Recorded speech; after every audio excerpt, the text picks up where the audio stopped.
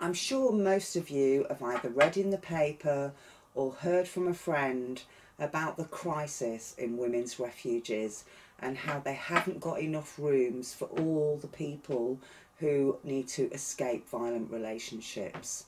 Well, they're not the only ones. There's women's charities across the country working on issues like mental health, housing, with children who haven't got enough money to keep their doors open, and we know some of them are closing. So, imagine when the government announced a few years ago that the tampon tax money would be given to women's health and support charities. We were so pleased. Unfortunately, the government have broken their promise. The money's not going to those organisations, the fourth emergency services of this country.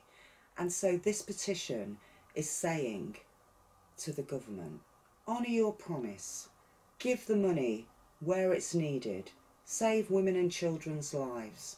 We urge you, if you care about women and children's safety, to sign this petition.